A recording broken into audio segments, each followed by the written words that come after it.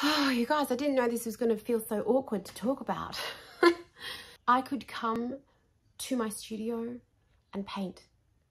And for a moment, that would take away the fear and the grief and the pain. And I'm so grateful for that. So deeply grateful just to have a few moments, minutes, half an hour in the day where I didn't have to think about fucking cancer and I could just create from my heart and just be me.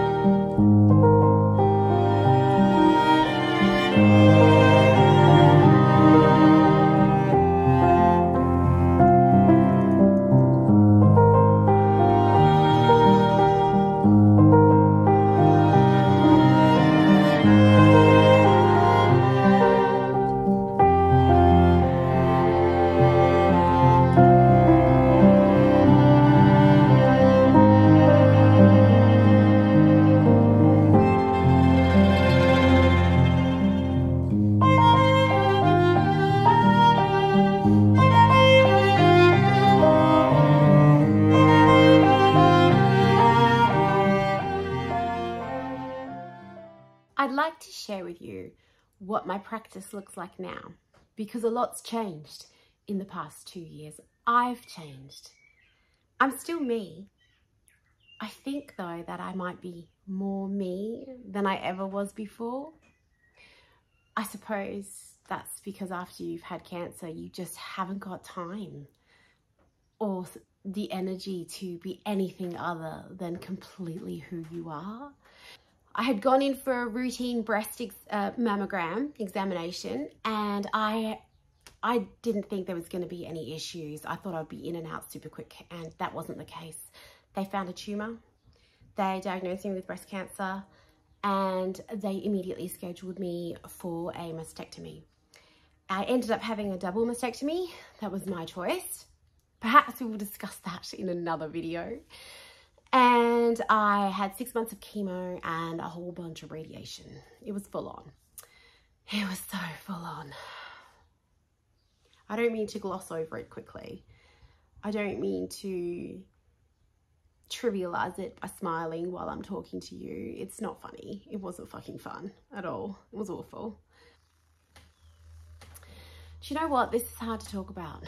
I didn't think it was going to be that hard to talk about, but Finding it quite emotional, which is okay. It's okay to be emotional about this stuff. It's fucking cancer, you know? Oh, you guys, I didn't know this was going to feel so awkward to talk about. but the reason that I'm talking about it is because, well, A, some of you out there are also survivors because that's just the way it is, right? There are many of us. This story is not mine. This story goes far and wide.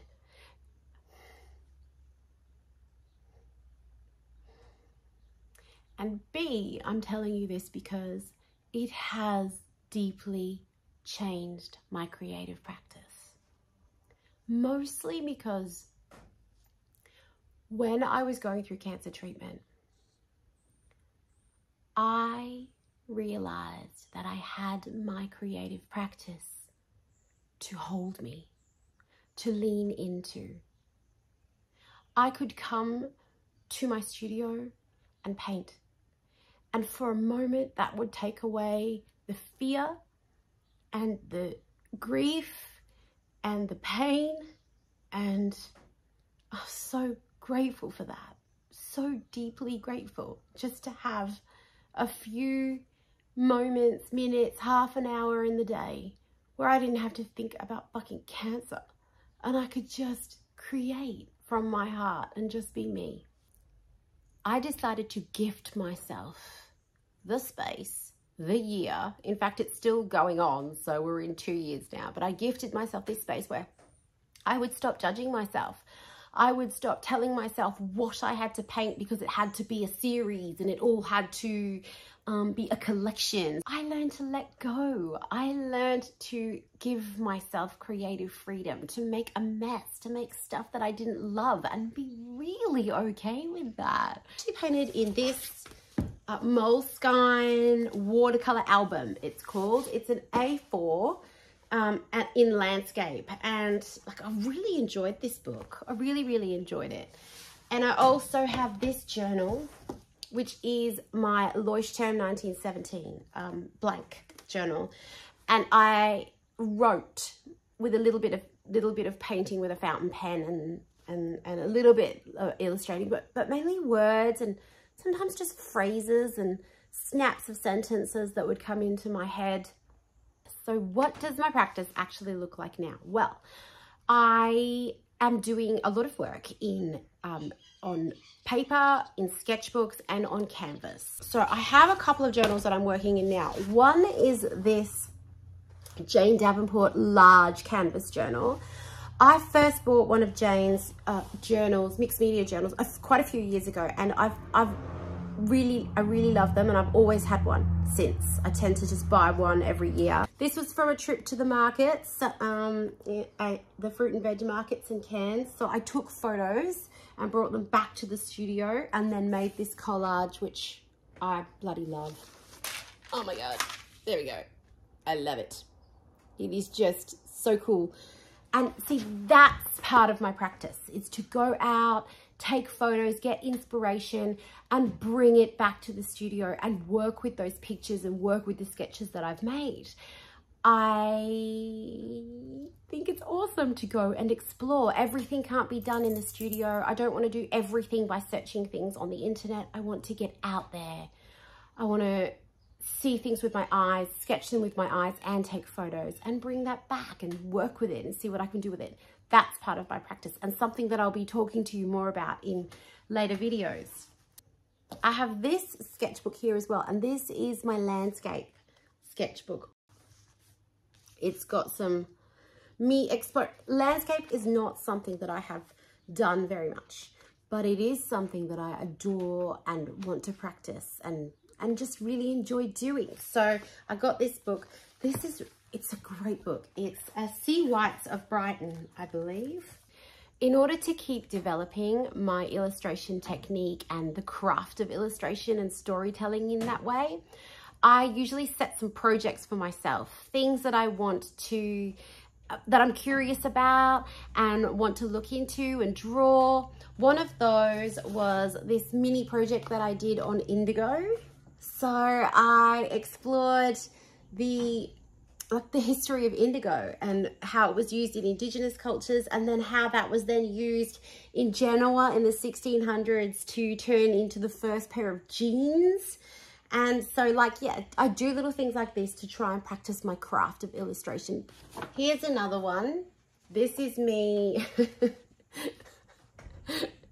um, there's, I've moved to the country, right? You can, you can see the hills out there and it is glorious and I love it. And my neighbors have roosters and every morning I hear the roosters and you know, it brings me such joy. And I like, is there any other creature that greets the day the way the rooster does? You know, it's just beautiful. So I, I got a bit obsessed with roosters as well and wanted to develop my drawings of them. And uh, so I, whoop, so here, I'm, I'm testing out all the different colors, different techniques, different things. And then I came up with this and then I thought, that's really fucking cool and I would like that on a tea towel. So then, bear with me, I've started designing it into this kind of tea towel that says morning, because I think it's backwards for you right now, I'm not sure. Um, yeah, so that's how I go. I start moving, like heading to my curiosity takes me towards the things that I'm really interested in or that really excite me in my daily life. And then I start developing and having and, and trying out different ways of drawing and expressing how I feel about those things.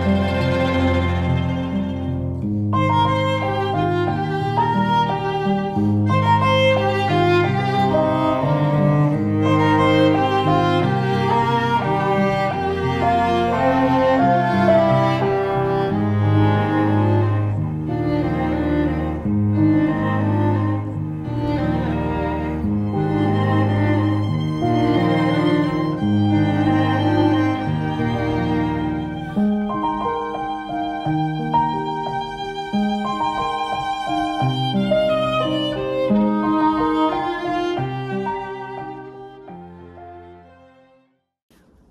is the inside of the living area of the apple shed. I don't show this space too much, or I haven't shown it much yet, because it's the space where my family and I live. So it's our personal, it's our safe space.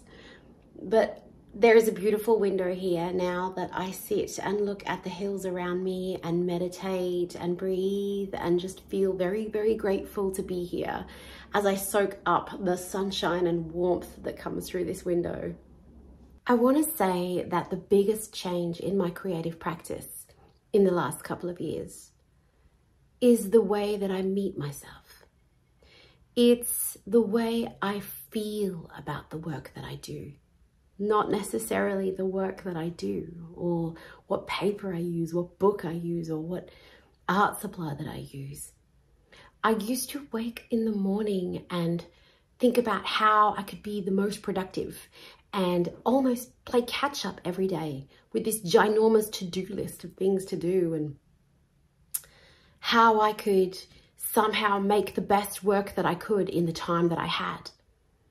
And I still love those things and I still care about those things, but they are not my first intention.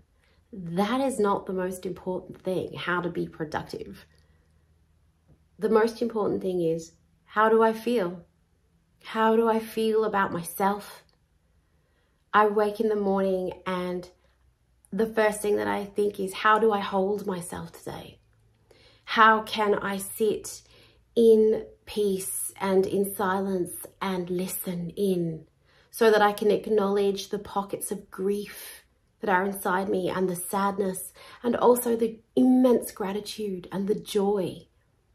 That's the first thing. That is my first intention with every day and throughout the day. And I think that has changed my work significantly because it makes me kind, makes me so much kinder to myself than I ever was before. I don't look at the work that I do and think, oh, I wish it was this and oh, I wish it was better. I simply just love it. I just, I respect my process so much more because I respect who I am because I am so fucking happy to be alive. That makes a huge difference. It makes all the difference. It makes all the difference to not only the work that I do, but the way that I meet the world. It's the energetics. I have realized that my creative practice is 90% energetics, i.e how I feel about myself and how I am taking care of myself. And 10% the work, the creative work, if that makes sense. All right, my loves, it is time for me to go. We are taking my beautiful 11 year old to the theatre tonight for her birthday. I would just like to say though that yes, I've been through a lot, but now I am well and I am here in this amazing place. Tasmania is incredible. It is filling my soul. It is filling my cup with inspiration. Everywhere I go, I want to stop and sketch and paint and photograph and bring it back to the studio and share it with you. I am so inspired. I'm fucking so excited about it. And, you know, life is good. Life is so good. Thank you for watching. I hope you enjoyed it. If any of this resonates with you, then please let me know in the comments. And if there are any videos that you would like me to make, let me know in the comments. I hope you enjoyed it. And um, if you did, give it a thumbs up and subscribe. And I will see you in the next video. Bye.